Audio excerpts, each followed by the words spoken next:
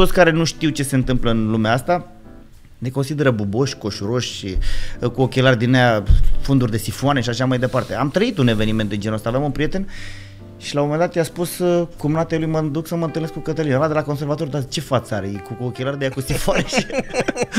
Are Îl aduce la... cineva până acolo, Așa, da. E, e de el vede la ce cântă să... și din da. zice, cum poți să te întâlnești cu unul de la, de la conservator?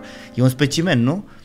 Probabil că sănătoși nu suntem cu niciunii, niciunii dar uh, una peste alta Cum era Tamara Buciceanu Botescu, cine era cu cu Anda Onesa, când îi zice ochelari, ai când și la trompetă, nu? Da, da, deci exact cam, cam da. asta este.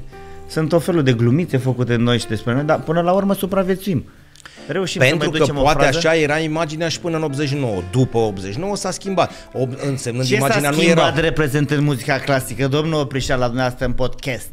De exemplu, ați devenit mai segment, umani. Segmentul... Ați devenit mai umani. Noi, că avem da. altă percepție. Eu care sunt lupt pentru schimbarea percepției Muritori, clasice. Pentru că până atunci cei care trăiau cu Wagner în casă și cu Puccini nu ieșeau pe stradă în piață să cumpere cartofi cu varză, erau albi. Bine, și ei trebuiau să mănânce, dar erau, ce crezi că erau văzuți și, un pic și, altfel. Și regele, știi cum e, se duce singur știu, într-o anumită știu, direcție. Da, măi, dar erau poziționați altfel. Da. Și în momentul de față nu cred că sunt diferit poziționați. Noi luptăm ca să Da. schimbăm această percepție. Asta și este tu o- ești un element care... E o asumare de-a mea și în momentul în care am ales să, să trăim prin ceea ce facem și în momentul în care am ales să ne mândrim cu ceea ce facem, să ne regăsim în ceea ce facem și să ne exprimăm până la urmă. Muzica este tot o formă de comunicare.